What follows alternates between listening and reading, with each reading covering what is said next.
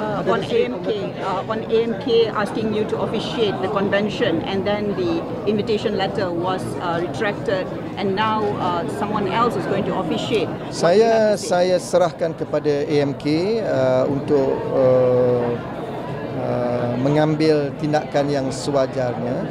Kerana sekali lagi ini unprecedented. By convention. Hmm? Semua parti-parti politik memberikan uh, ruang kepada timbalan presiden untuk merasmikan pemuda dan wanita dan presiden untuk melakukan peresmian the main congress.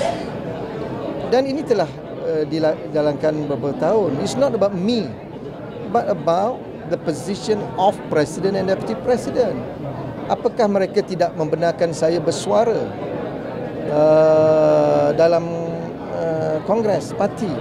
Jadi ini adalah percubaan untuk menutup mulut saya uh, untuk menegur kepimpinan yang sedia ada. Sebenarnya uh, keadaan semasa memang uh, tidak baik uh, kepada uh, Pakatan Harapan kerana ada pihak yang cuba uh, melemahkan uh, perjuangan uh, di dalam parti.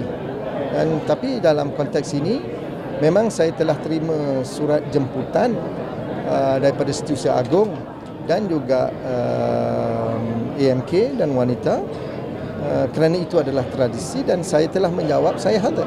Tapi baru-baru ini di, tak dibatalkan dan uh, saya yakin uh, uh, ketua MK dia tidak berani melakukan sesuatu tanpa ada tangan-tangan gaib di belakang. Ya. Akmal has said that he is inviting uh, Datuk Sri Wan Aziza because UMNO does that uh, because they on, on, normally invite the Deputy Prime Minister. So, Oh, dalam konteks ini dia nak ikut UMNO.